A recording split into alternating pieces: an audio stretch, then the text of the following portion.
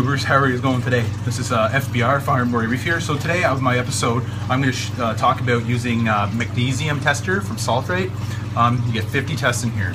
Uh, it's very important to uh, keep your magnesium uh, levels in check because your calcium won't be absorbed by all your corals in your tank if you don't have your magnesium. Because you, with magnesium, magnesium and calcium are very close together. You need an ion from calcium and an ion from magnesium to combine and work together in your tank. So if you don't have enough magnesium, your corals won't absorb the calcium because they need the magnesium and vice versa. So I'm going to show you guys how to do this right now. Um, so what I'm going to do is I'm going to get some uh, water from my tank. So I just got some water from my sump. All right. So what you're going to do, so in your test here, what you have is uh, you're going to get a little syringe.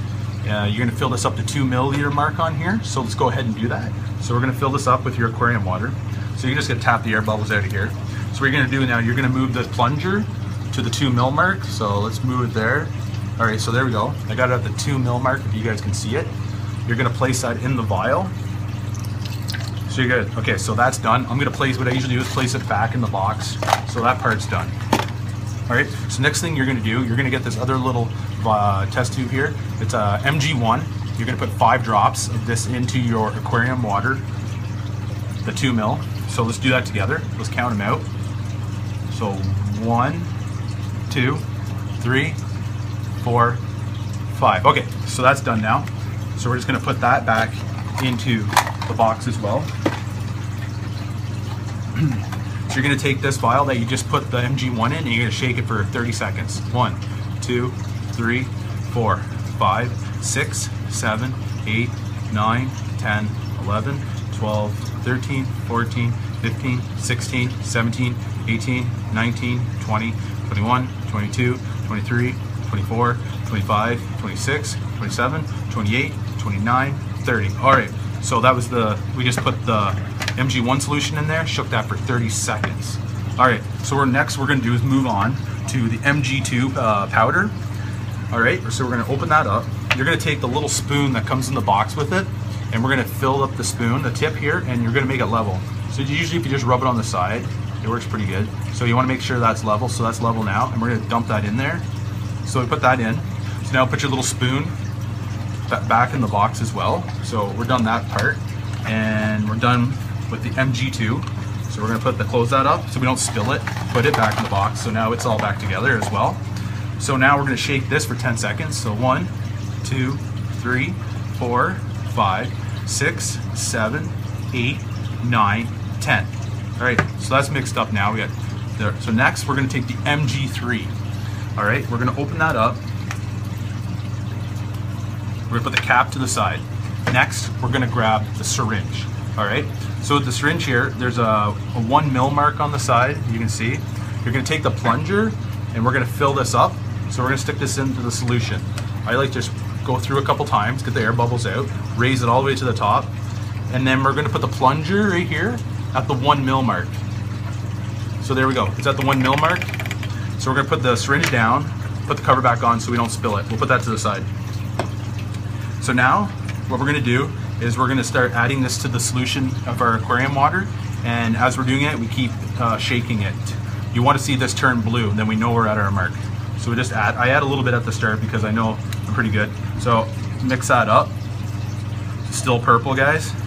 Add a couple more. Add three more drops. Keep going till you're, gonna want to see this be uh, clear blue.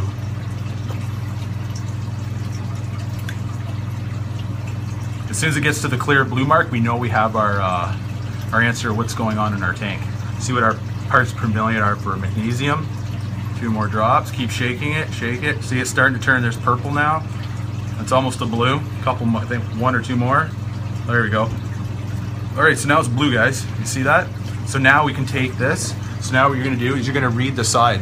And if I read it, it's in by five. So I'm at zero point, what do I got, 0.15. So I'm at 0.15. So now what you do is you take your 0.15 and in the box, it comes with the magnesium chart.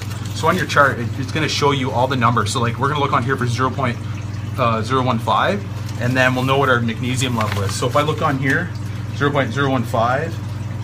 I am at between 14 and 16 on my chart. So if I go between uh, 14 and 16, that's about uh, 12, uh, 1260, 1200, 1260 parts per million of magnesium that's in my tank. I need to bring that up to at least 13, 1320. So if we do the math, because now we know that my tank is low in magnesium, I need to raise those levels because now my corals aren't using the calcium in my tank properly, and then you don't get good coral growth. All right, so let me just, I'm gonna do the math here, figure this out. So we know that we want to be, we do the math, the other thing is to do, I'll get part of this, is you here, you get this book, get a book from like the dollar store or something and give yourself like a, a saltwater tank reef diary. Very important. So I just put Sunday, March 15th on here and magnesium, what I'm testing. And then we can do that all week and we can gradually see what our tank is using. So I'm just gonna write down, so I know that I'm at 1260. So we'll put 1260 on here and then we're gonna subtract the 1350. That'll give us how much our uh, dosage is a part per million. So if I do this right now, so I'm, I'm missing 90 par, uh, parts per million of magnesium. So I use I use Kent Kent Marine magnesium, and it says quarter teaspoon will raise my tank water 18.3 parts per million every quarter teaspoon. So if I write this down, do the math, and I take my 90, so I need to dose almost five doses of that. I almost need to dose five doses of this a quarter uh, tablespoon, and that'll bring my 90 parts per million, 90 parts per million of magnesium back up to what it needs to be so my tank can use the calcium properly in my tank. So I'm gonna start dosing that. I'm gonna add my five uh, tables, tablespoons of uh, magnesium uh, from uh, Kent here, and that'll put my magnesium uh, back up to where it needs to be. Um, so the next one I'm gonna do, guys, I'm gonna do my calcium, show you guys, because if you don't have your magnesium, that means your calcium's out of whack. So you want your calcium calcium to be where it needs to be, and you need to get your magnesium where it needs to be. So I, ho I hope this helps you guys because I know I've myself like looking on YouTube and trying to figure this out like a lot when I first got into the reef tanks, magnesium. I like these kits. The Salifert kits are very easy. There's not much really to them, and you just uh, get another box when you need to get it.